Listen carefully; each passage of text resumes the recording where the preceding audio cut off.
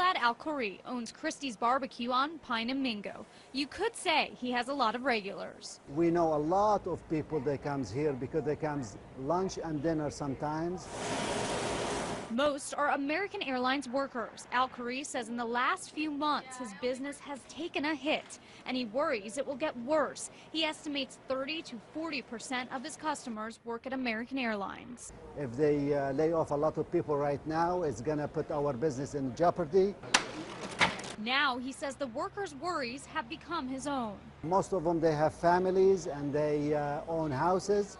And all, with, all the time they think how they're going to afford to pay the payment on the house.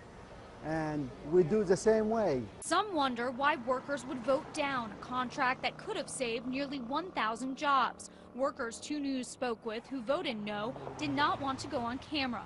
But they say it goes back to the cuts they took in 2003.